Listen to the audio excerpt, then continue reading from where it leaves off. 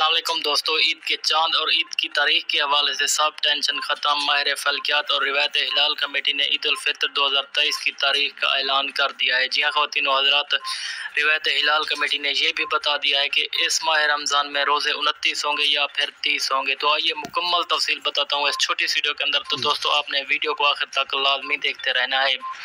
उससे पहले हर बंदा इस वीडियो को लाइक कर दे और चैनल को सब्सक्राइब करके साथ दिए बेल आइकन को लाजमी इनेबल कर दे ताकि इस तरह की खबरें आपको हर वक्त और सबसे पहले मिले और आप रहें बाखबर।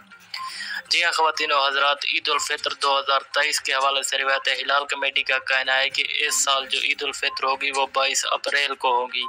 इक्कीस अप्रैल को चाँद नज़र आ जाएगा, जबकि बाईस अप्रैल को ईद फितर होगी और पाकिस्तान भर में ईद फितर एक ही दिन मनाई जाएगी। और रिवायत हिलाल कमेटी ने कहा है कि इस साल पूरे के पूरे तीस रोज़े होंगे।